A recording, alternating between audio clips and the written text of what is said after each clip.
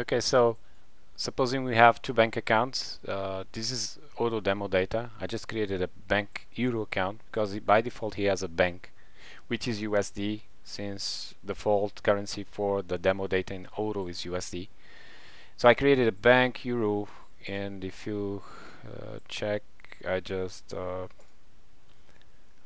well I just created a, a new account for euros and I set the type of the journal also for euros and the type of the account uh, the type of the account also is set for the currency euro that it is because it's different from the one in the company. So now I can just go here and uh, do an internal transfer. I already have one here I'll just use this one. So this is an internal transfer yet to confirm and suppose I'm going to take money from so I have zero in euros and I have 5000 in USD so I'm going to take a thousand USD and send them to euro account. So when I save and I confirm this is what I will got. I will got 861 that's the today's rate for USD.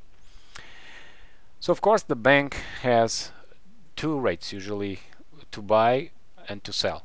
So they earn money when they're doing those those currency exchanges and it's really not an exchange rate so we can in my perspective doesn't make sense to go into the system and say force this transfer uh, rate because it's really not real it's the transfer rate plus what the bank is going to earn.